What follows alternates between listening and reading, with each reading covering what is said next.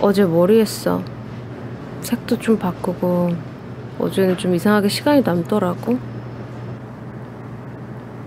아니 지금 내가 너랑 왜 통화하고 있는지도 잘 모르. 알았어. 잘 지내.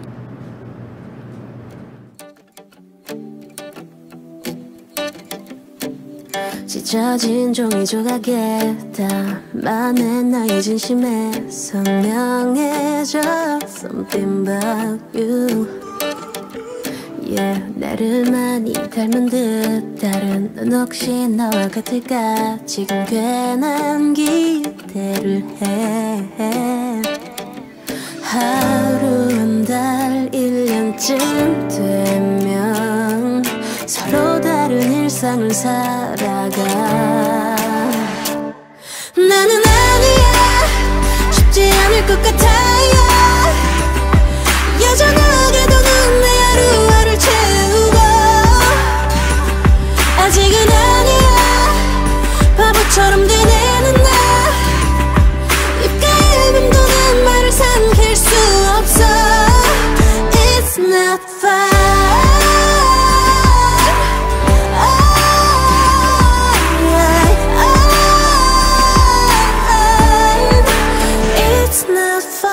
머리를 지금 묶은 채 어지러운 밤을 정리해.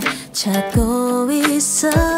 Something new 가끔 이렇게 감당할 수 없는 뭐라도 해야 할 것만 같은 기분에 괜히 움직이곤 해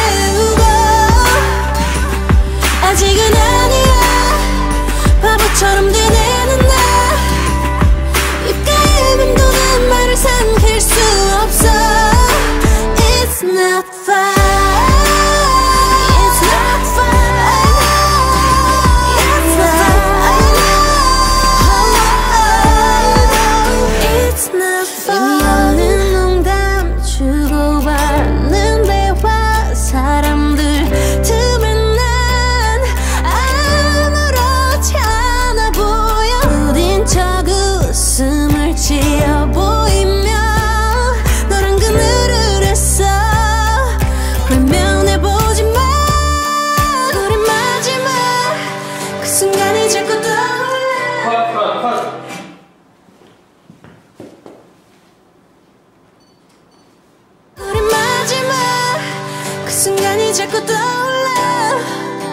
잘 지내라는 말이 전부였던 담담한 이별